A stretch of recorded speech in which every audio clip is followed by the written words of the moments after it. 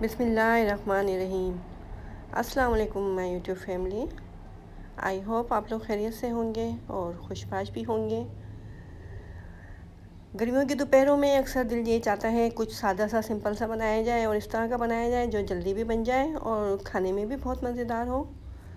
तो आज हम आपके लिए एक ऐसी रेसिपी लेके आए हैं जो कि बहुत जल्दी बन भी जाएगी और खाने में भी बहुत मज़ेदार सी होगी। तो चलिए फिर हम अपने किचन में चलते हैं और अपनी रेसिपी शुरू करते हैं। हम आपको बताते हैं कि लाल चटनी वाले तड़का दही बड़े किस तरह से बनेंगे। तो इसके लिए सबसे पहले हम पकौड़ियों के लिए बेसन घोल लेते हैं। इसके लिए हमने एक कप बेसन ले लिया था, एक चाय का चम्मच इसके अंदर, सफ़ेद ज़ीरा डाल दिया है।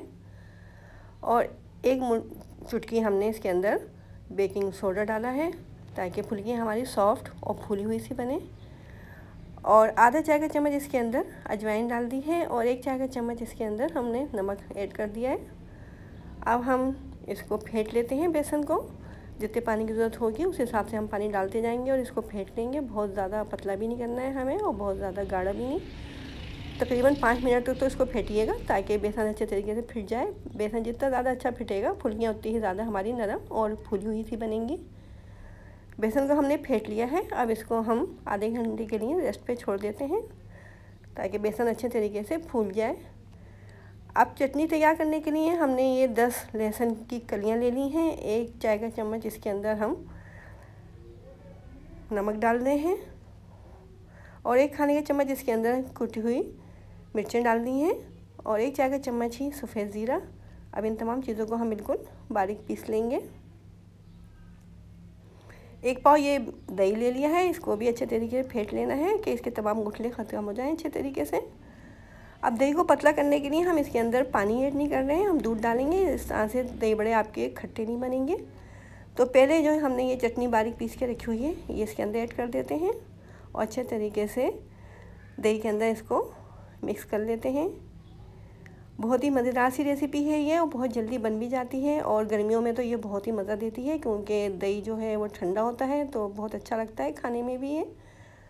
अच्छे तरीके से चटनी को दही के अंदर मिक्स करने के बाद अब इसके अंदर दूध डाल देते हैं हम। तो ये एक कप दूध लिया है हमने। अगर आपको ज़्यादा पतला करना हो दही को तो आप इसके अंदर और ज़्यादा दूध भी डाल सकते हैं। देखें से ये हमने लाल रायता तैयार कर लिया है। अब ये रायता भी खाने में बहुत मज़ेदार होता है।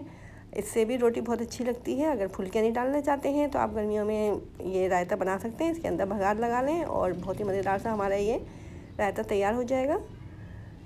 अब हम फुलकियाँ फ्राई कर लेते हैं। तो मीडियम फ्लेम पे इनको फ्राई करना है, जब तक कि ये दोनों तरफ़ से गोल्डन ब्राउन नहीं हो जाती हैं। जब तक हम इनको फ्राई करेंगे, देखिए कितनी फूली फूली सी बन रही हैं। क्योंकि बेसन को हमने बहुत ज़्यादा देर तक फेंटा था और फिर इसको रेस्ट पे भी छोड़ दिया था। तो बेसन बहुत अच्छे तरीके से हमारा फूल चुका है। तो फुलकियाँ बहुत ज़्यादा नरम और फूली हुई सी बनेंगी, देखें। कितनी फूल चुकी हैं ये तो गोल्डन ब्राउन हो गई हैं ये तो अब इनको निकाल लेते हैं हम। अब हम इनको पानी में नहीं भिगोएँगे, बल्कि हमने जो रायता बना के रखा हुआ है, उसके अंदर ही इन फुलकियों को भिगो देंगे। तो ये बहुत अच्छे तरीके से नरम हो जाएँगी। तमाम फुलकियाँ निकाल के जो हमने रायता बना के रखा हुआ है, इसके अंदर भिगो देते हैं इनको। रायते को थोड़ा पतला ही रखिएगा, क्योंकि फुलकियाँ भी इसको रायते को जस्ट कर लेंगे तो इस तरह से रायता हमारा गाढ़ा हो जाएगा। अच्छे तरीके से फुलकियों को हमने रायते के अंदर डिप कर दिया है। अब इनको पंद्रह मिनट के लिए हम छोड़ देते हैं, ताकि अच्छे तरीके से ये फूल जाए। पंद्रह मिनट के बाद हम अब भगार तैयार कर लेते हैं दही बड़ों का तो इसके लिए हमने एक चौथाई कप कुकिंग ऑयल डाल दिया है गर्म करने के लिए। अब इसके अंदर हम ये आठ, दस कड़ी पत्ते, एक चाय का चम्मच सफ़ेद ज़ीरा, तीन ये लाल साबुत मिर्चें ली थी हमने और तीन, चार लहसुन की कलियों को बारीक काट लिया था। वो तमाम चीज़ें डाल दी हैं हमने भगार के अंदर। अब इनको फ्राई कर लेते हैं जब तक कि लहसुन गोल्डन नहीं हो जाता है और ज़ीरा भी हमारा अच्छे तरीके से फ्राई नहीं हो जाता है। इतनी देर तक हम इनको फ्राई करेंगे। भगार में से बहुत अच्छी सी खुशबू आने लगी है क्योंकि लहसुन, सफ़ेद ज़ीरा और कड़ी पत्ता हमने भगार में डाला है। भगार को हमने बॉल के अंदर डाल दिया, जिसके अंदर हमने दही बड़े रखे हुए थे, इसको कवर कर दिया है ताकि भगार की खुशबू अच्छे तरीके से हमारे दही बड़ों के अंदर रच बस जाए। देखिए इस तरह से कितने मज़ेदार से झटपट से हमारे ये दही बड़े तैयार हो चुके हैं।